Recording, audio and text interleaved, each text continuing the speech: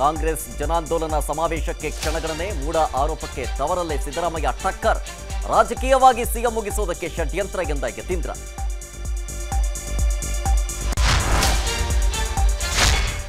ಜನಾಂದೋಲನ ಸಮಾವೇಶದಲ್ಲಿ power sharing ಮಾತು, ಐದು ವರ್ಷ ಸಿದ್ದರಾಮಯ್ಯರೇ ಸಿಎಂ ಅಂದ್ರು ಮುನಿಯಪ್ಪ. ಸಿದ್ದುಗೆ ಹೈಕಮಾಂಡ್ ಸಪೋರ್ಟ್ ಇದೆ ಎಂದ ರಾಯರೆಡ್ಡಿ. ಕುಮಾರಸ್ವಾಮಿ ಎದ್ದು ಬರೀ ಬುಡುಬುಡುಕೆ ಮಾತು. ಪಂಚೆ ಕಟ್ಟೋದನ್ನ ಬಿಟ್ರೆ ಬೇರೆ ಏನು ಮಾಡಿಲ್ಲ. ರೈತರ ಪರ ಒಂದೇ ಒಂದು ಕೆಲಸ ಮಾಡಿದ್ರೆ ತೋರಿಸ್ಲಿ ಎಂದ ಡಿಸಿಎಂ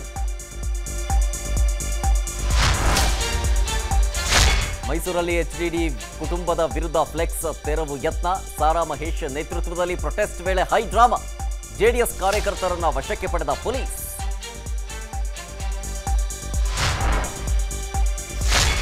ಮೂಡ ಹಗರಣ ಖಂಡಿಸಿ ದೋಸ್ತಿ ಏಳನೇ ದಿನದ ಪಾದಯಾತ್ರೆ. ಶ್ರೀರಂಗಪಟ್ಟಣದಿಂದ ಮೈಸೂರಿನವರೆಗೂ ಇವತ್ತು ನಡಿಗೆ. ನಾಳಿನ ಕಾರ್ಯಕ್ರಮದಲ್ಲಿ ಕೇಂದ್ರ ನಾಯಕರು ಭಾಗಿ ಸಾಧ್ಯತೆ